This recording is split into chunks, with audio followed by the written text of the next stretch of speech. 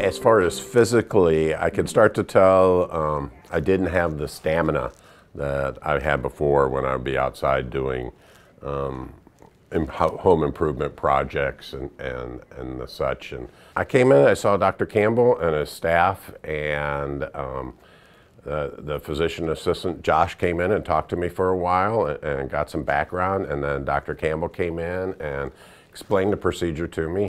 The minimally invasive aortic valve replacement is um, essentially replacing the aortic valve, meaning entering through the right chest as opposed to splitting the sternum. If I can avoid splitting the breastbone, I'm going to increase their um, satisfaction, I'm going to decrease their recovery time, and today we can take their infection risks almost to zero because there's really no major infection risks on the side.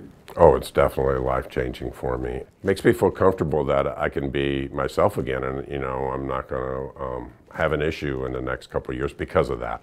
The goal is to get them the repair or replacement that they need to prolong their life, to improve their life, uh, but to give them the lowest impact in recovery.